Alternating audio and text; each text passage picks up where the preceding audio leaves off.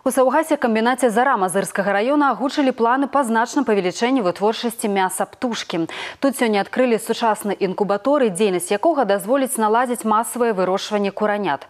Прадпрыемства наведалі нашы карэспандэнты.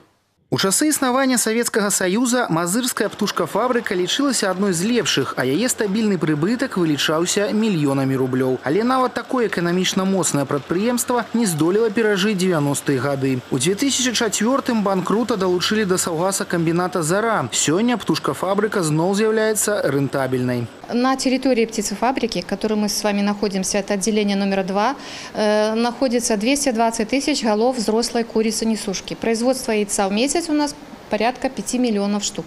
В год мы производим 64 миллиона штук яиц. Также на этой площадке у нас находится 110 тысяч голов цыплят-бройлеров. Саўгаскамбінат «Зара» пацверджання таго факту, што ў сельскай гаспадарцы сёння можна працаваць рэнтабельна. Для гомельскай вобласці гэта асабліва важна. Цяпер рэалізацыя інавацыйных праектаў з бюджэтным фінансаваннем будзе ажыццяўляцца толькі ў эканамічна моцных арганізацыях. Принято решение, что все объекты, которые начинаются и строятся в этом году, будут строиться только в сильных хозяйствах.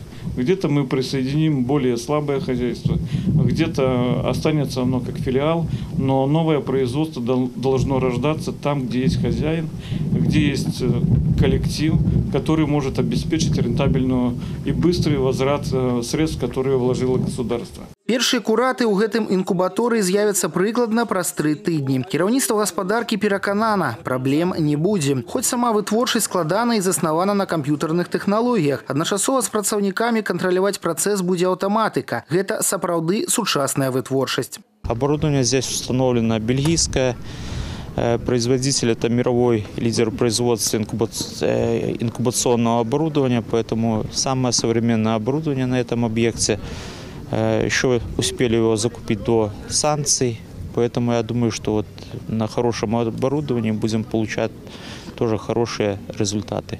З'яўленне інкубаторыя па вырошчванні курат дазволіць саўгасу камбінату пабудаваць яшчэ адзін цэх па атрыманні мяса птушкі, што дапаможа на працягу года дадаткова рэалізоўваць 800 тонн запатрабаванай прадукцыі. Дарэчы, інкубаторый у зары пабудавалі выключна за ўласныя сродкі. Разліковы тэрмін акупнасці 4 гады. Олег Сенцюроў, Дмітрий Котаў, Ігор Марышченко, тэлерадыёкампанія Гомель з Мазырскага района.